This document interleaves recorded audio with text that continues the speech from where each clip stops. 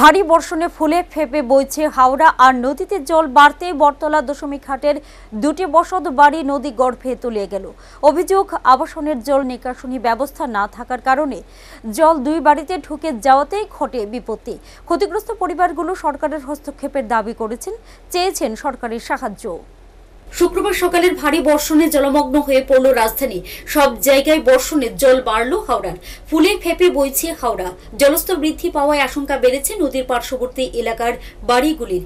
জলের বেগে জায়গা বাড়িয়ে তলিয়ে যাচ্ছে। ইতিমধ্যে জল বেড়ে যাওয়ায় বটতলা মহাবীর ক্লাব সংলগ্ন ইন্দিরা কলোনি এলাকায় দুটি বাড়ি নদী গর্ভে চলে যায়।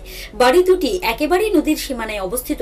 সকাল থেকে জল বাড়ে, জলের স্রোতে বাড়ি দুটি তলিয়ে যায়। ক্ষতিগ্রস্ত পরিবারের অভিযোগ দশমিক হাট এলাকায় যখন আবাসন নির্মাণ করা হয়েছিল। তখন দাবি করা হয়েছিল একটি বড় কালভার ড্রেনের কিন্তু পুর নিগম এবং তৎকালীন প্রশাসন এই ব্যাপারে কোনো পদক্ষেপ হাতে নেয়নি। ফলে বৃষ্টির সময় আবাসনের জল নদীতে নামার সময় পুরো বাড়িটি হেলে যায়।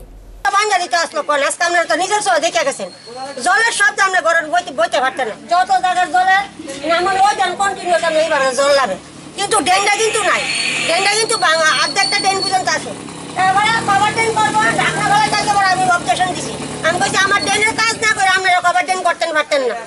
কিন্তু এরপরে আমার তারা প্রতিশ্রুতি দিয়ে গেছে যে কইরা দেবো এর আগের প্ল্যানে দেন আমার রান্নাঘরটা সবটা লেগে গেছে আমি গরিব মানুষ এত কষ্ট করে দেন আবার আমি ঘরটা জুড়াইছি আমার একটা টাকা আমি জলের টাকা আমি পাইছি না। জল উঠে সবাই তিন হাজার টাকা করে পাইছে সেই টাকাটা সত্যি আমি পাইলাম না। কিন্তু আমার রান্নাঘরটা লেগে গেছে আজকে আমরা মাথা গুজনের জায়গা নাই দেখা আজকে আমরা এত কষ্ট করে নদীর মাঝ বইলা রয়েছি আমরা কি স্বপ্নে আমরা এই নদীর সুবা খাইতাম আজকে তো নাই আমরা কই যাম কোন? মায়া ফুলা লই আমরা ঘর দল জলে আমরা কই যাইতাম কোন? আমরা ভারী কই গিয়া রাস্তা গিয়া বইয়া থাকলে কোন? আমরা কিটা করতাম কোন? শুধু আমরা এই জলে আজকে ধ্বংস করছে এই আবাসনের জলে। আবাসন কইরা ক্ষতিগ্রস্ত পরিবারের অভিযোগ বর্তমান সরকারের প্রশাসন ও এই ব্যাপারে কোনো খোঁজ খবর নিচ্ছে না, ফলে তারা নানা সমস্যায় পড়েছে। গত বছর বন্যার সময় এই দুটি বাড়ির ব্যাপক ক্ষয়ক্ষতি হয়, কিন্তু প্রশাসন থেকে তারা কোনো ধরনের সাহায্য পায়নি। বন্যায় এই ঘরটা পর একটা ঘর ফিরে গেছে এখান থেকে। যাওয়ার পরে আমাদের এলাকার বিধায়ক রতন দাস আসছিল রতন দাসকে জানানো হয়েছে, রতন দাস নিজে একুর দেখছে, কইছে "কো নদীর ভিতরে তোমরা ঘর তুল রাখছো, তো এইটা যাইবই। এই বিধায়কের বক্তব্য।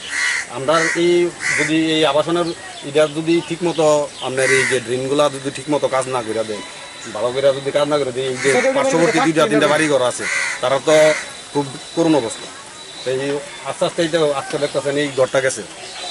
বন্যার জল বাড়তেছে নদীর জল বাড়তেছে এই ঘরগুলা আর বেশিক্ষণ রাখুন বর্তমানে আশঙ্কার মধ্য দিয়ে দিন কাটাচ্ছেন ওই দুই পরিবারের মানুষ। নদীতে জল যতই বাড়ছে তাদের মধ্যে চিন্তা আরও আশঙ্কা বেড়ে চলেছে।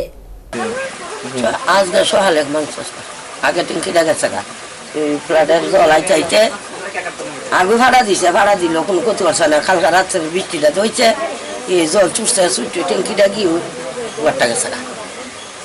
ওনার লেট্রিন দেওয়া যাব গা, আমরা এই ঘরটা যাব গা উড়ান লুই টান দিব আর তাহলে কোনো ক্ষমতা নাই প্রাক বর্ষাতে হাওড়া ফুলে ফেপে যাচ্ছে দুর্দশার অন্তনে। তাই ক্ষতিগ্রস্তদের দাবি সরকার অবিলম্বে তাদের ব্যবস্থা গ্রহণ করুক। নিজস্ব প্রতিনিধি রিপোর্ট আল্লাবুল।